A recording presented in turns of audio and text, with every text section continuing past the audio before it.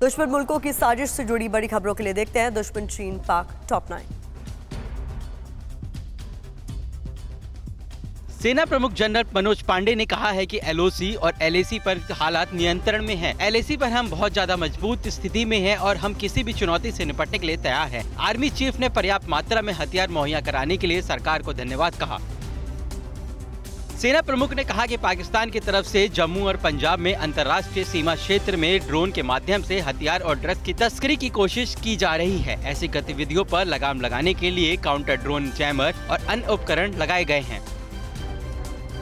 LAC पे तनाव के बीच विदेश मंत्री एस जयशंकर का बड़ा बयान सामने आया है। जयशंकर ने कहा है कि चीन यथा स्थिति बदलने की कोशिश कर रहा है। मुश्किल हालात में हमारी तैयारी मज़बूत है। कोविड के दौरान भी सेना ने करारा जवाब दिया।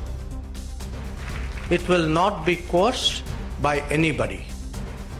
And that it will do what it takes to ensure its national security. LAC पर चीन के ड्रोन प्लान का बड़ा खुलासा हुआ है पीएलए ने एलएसी पर आग फेंकने वाला ड्रोन तैनात किया है ये ड्रोन ग्लेशियर को भी पिघला सकता है चाइनीज़ मीडिया ने ड्रोन अटैक का वीडियो जारी किया चीन ने एक साथ 14 सैटेलाइट लॉन्च किए हैं। चीन ने उत्तर चीन से शाइंग प्रांत के तायोंग सैटेलाइट लॉन्च सेंटर से 14 नए सैटेलाइटों को ले जाने वाला एक लॉन्ग मार्च 2D रॉकेट है। साउथ चाइना सी में चीन अपनी ताकत बढ़ाने में जुट गया है। चीन के शेंडोंग एयरक्राफ्ट कैरियर फाउंडेशन ने साउथ चाइना सी में एक ड्रिल किया है, जिसमें देश का बना पहला विमान वाहक पोत को उतारा गया है। पाकिस्तान के शहबाज शरीफ सरकार का जाना तय माना जा रहा है। इमरान खान ने अविश्वास प्रस्ताव पेश करने का ऐलान कर दिया है। अगर एमक्यूएम ने शहबाज शरीफ का साथ छोड़ दिया तो सरकार गिरना तय है।